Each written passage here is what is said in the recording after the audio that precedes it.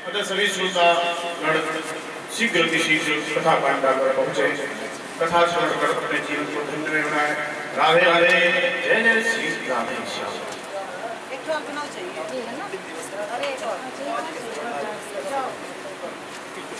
रुक जाओ। नहीं देख ली सर आज बड़े आनंद की कथा आपके बीच में होने जा रही है। कहते हैं आप छह दिन तक जो कथा श्रवण नहीं कर पाएँगे। वह जो आज की कथा, पूर्ण रूपेण जो श्रवण करता है सत्तर दिवस की कथा, उसे सात दिन की कथा श्रवण करने का पुण्य लाभ प्राप्त होता है। ऐसा भागवत जी में निर्मित है। और आज दिव्य कथाओं का जो स्वागत होने को है, मुख्य रूप में श्री सुदामा जी का चरित्र आपके सामने प्रकट होगा। मंगलम भगवान विष्णु मंगलम प्रणव मंगलम मंडली अक्षो मंगलाय धनवने ओम दावा पीतामराधन मंगलादृष्टा